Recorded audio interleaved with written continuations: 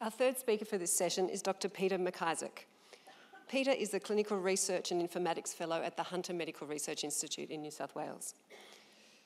Peter's a former, formerly a rural GP, and he has also worked at all levels of the healthcare system local, state, and federal. In today's session, he's jointly presenting on behalf of Ms. Jane Gray, an Executive Director of the Hunter and New England Health Service, who regrets being unable to be with us today, and we do thank Peter for stepping in at relatively short notice. Peter will be providing the health service provider's perspective. How should we measure impact on service delivery? Thanks, Peter. Okay, so um, I'm here representing um, the uh, a group of people that got a little bit of a, a hard time at the last session, and uh, and certainly I've taken a few of the points on board. Uh, that's the that is the people who run hospitals. So I'd like to also just do a little thought experiment here. Could uh, everybody in the room who's a patient uh, put up has been a patient put up their hands at some stage their lives? Pretty much everyone. Is it everybody who's a clinician who's actually been involved in delivering patient care? Put up your hands. Okay, keep your hands up if you've been also involved in running a clinical service. Okay, a few less people. And who's had roles in actually running hospitals or health services at a, at a level above a clinical unit? A few. Okay, so so to some extent, everybody has a, a point of view around uh, as either a clinician or as a patient or as a as a manager about uh, what actually happens at the uh, at the coalface, and uh, and uh, the this uh, statement up here is actually out of the playbook for the um, for the alliance. It's a uh, it talks about what we're all trying to do here, but uh, the the bird feeding those hungry beaks. Uh, is a, a, vision that came to me when one of my colleagues in management was saying, "Well, we just don't really get fully understand research. To us, it looks like a series of chicks with their mouths open saying, Feed me, feed me, I'm most important, I'm most important. And so the ducks here lined up in a row. Um, we probably never get quite that organised, but having some form of framework or system to help management understand uh, research and for research to understand management. And uh, so uh, I'm going to try and hopefully uh, give my perspectives that I've gained through working at various uh, levels of the system and uh, and in my current role in clinical research support. So, uh, what does a um, health service looks like? Well, Hunter New England may be a bit bigger than most, but uh, that red spot is uh, an area about the size of the UK, uh, stretching from just north of Sydney to the Queensland border. Um, population of a million people. we have 80 facilities and not just hospitals to deal with. So if you're the CEO or the senior executive of our health service, you're looking over a, quite a complex uh, composite of health services that um, that uh, are really a, a small a version of our whole health system writ large.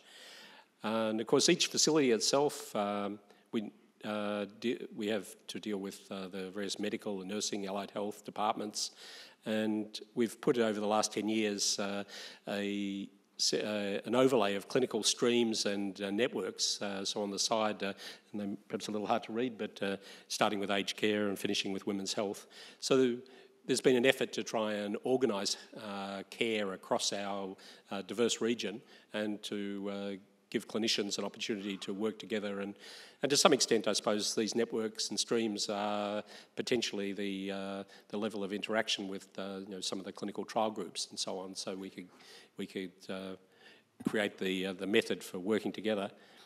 Uh, but at the end of the day, um, much of the decision making about what happens in a hospital happens at the local level. It's not the CEO, it's not the chief operating officer, the director of nursing, it's uh, or clinical services.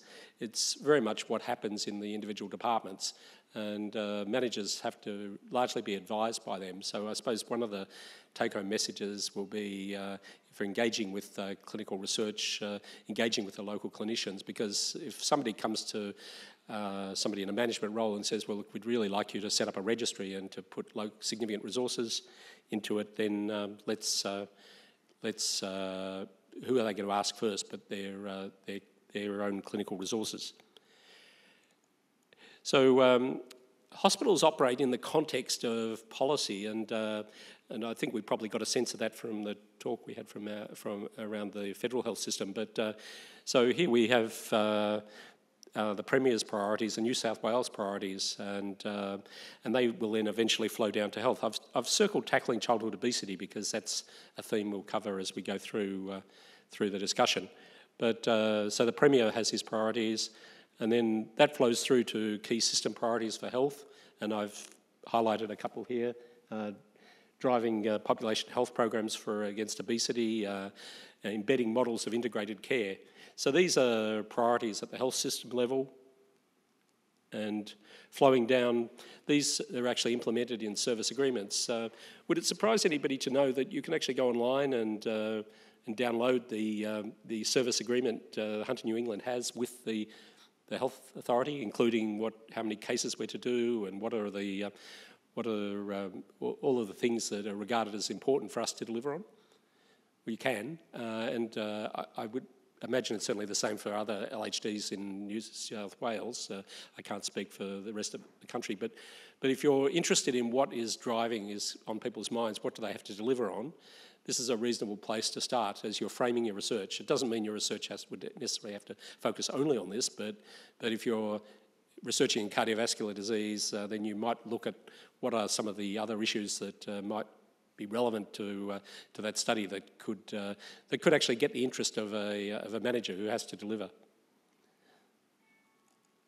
Uh, these things then flow down, and I'll quickly go through these, but there's the LHD level, the facility level, and down at the individual level, we all have 90 day action plans monthly meetings with our managers. This is not for absolutely everybody in the health service, but people at a certain level of, uh, of performance who, um, uh, but essentially we're all accountable for our own activities and, and linking them back to what are the, the plans of the organisation, which are in turn linked to the plans for the state.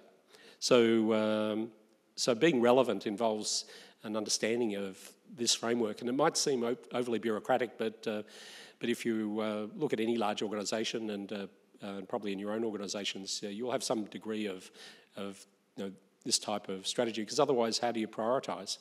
Um, where are you going to put your money? Um, so, uh, so we now have we have indicators. So the number of obese children, 17 to 13, uh, enrolled in a program, uh, is an example of an indicator. So when so when, um, and for research itself, which was one of the topics, uh, most of our res- research performance relate to governance and, uh, and uh, effectiveness of uh, our research support programs, uh, calendar days to HREC approval, calendar days to authorisation. Uh, we have scholarships which are funded by the research scholarships and, and research grants, which are funded by the, the health service as part of our research support. So we have some KPIs around those. These are all visible. But uh, at the end of the day, uh, I'll just use two, talk about briefly about two examples. One is a, was a research program called Go for Fun, uh, which focused on how to improve physical activity in schools. Now, for us at the health executive level or at Hunter New England, the researcher bringing forward this idea uh, can clearly link it to what are our priorities. We saw them right down from the, the Premier down. Uh, so uh, when it comes to uh, deciding who are we going to award a local grant to to support that research, uh, this gives that research a, an edge over other research, which might be equally worthy, but uh, but it still it clearly addresses our priorities. A second area in the area of integrated care was uh, around diabetes, and uh, and uh, uh I'm just somewhat saddened that uh, I was, when I was with the Commonwealth Health Department and we were looking at diabetes care in general practice in 1998, and uh, and, and we had data from 6,000 general practices collected, and that led to the diabetes program. But you know, 15 years later, we're still almost in the same position despite all the efforts that we've made. So uh, that speaks to the implementation science. We haven't really got in there, but anyway, we are. That's where we are, and uh, diabetes is still a major problem for us and the quality of management in primary care.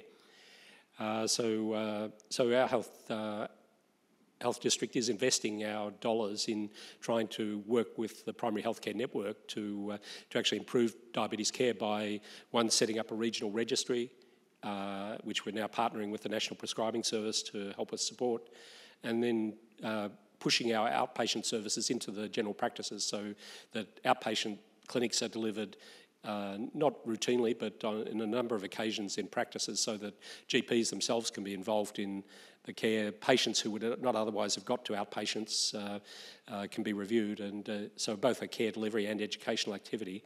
And we have some data to show that it's uh, paying dividends.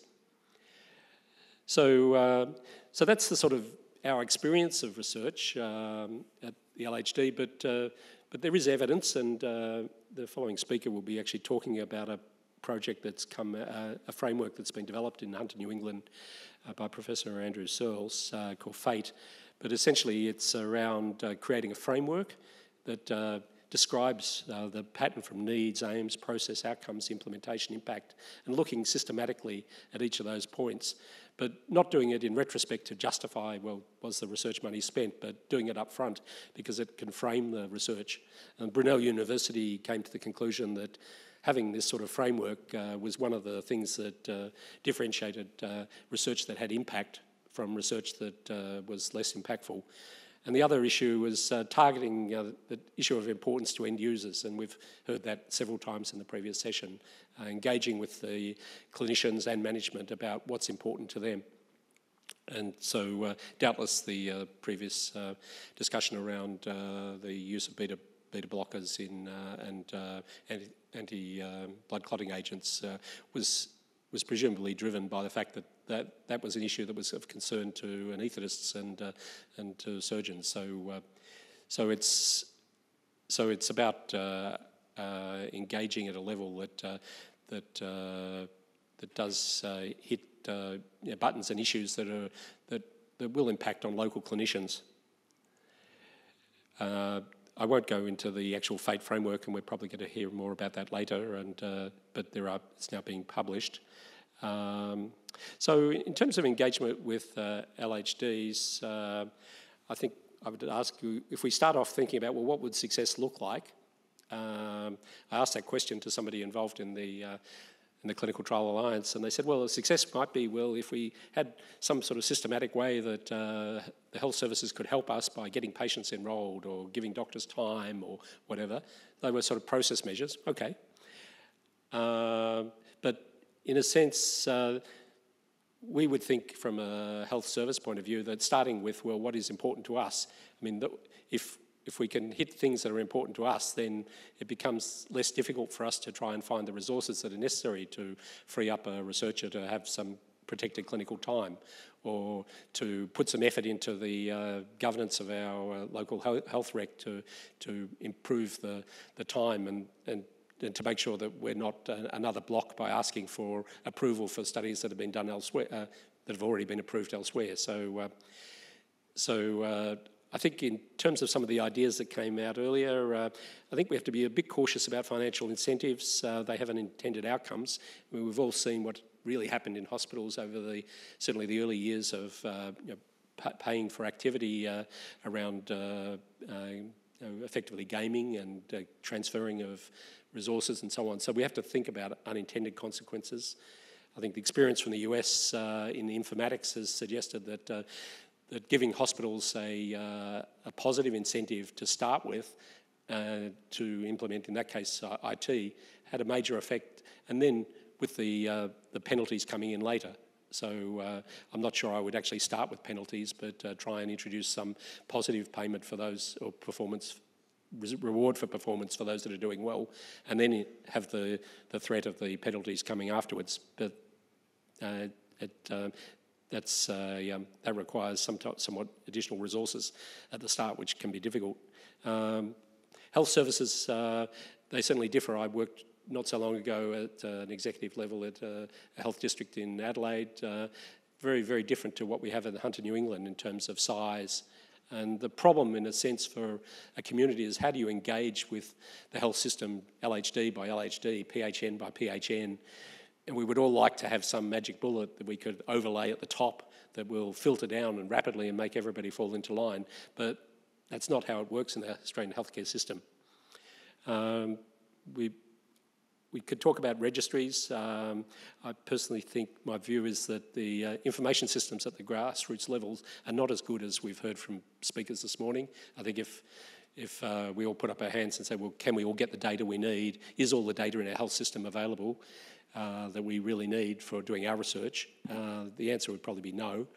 Australia is somewhat well, behind at least the, the better centres in the US and many parts of Europe in terms of our uh, information systems at the coalface, and that will Im- impacts on preventing us uh, preventing us actually implement um, change and uh, monitoring the outcomes.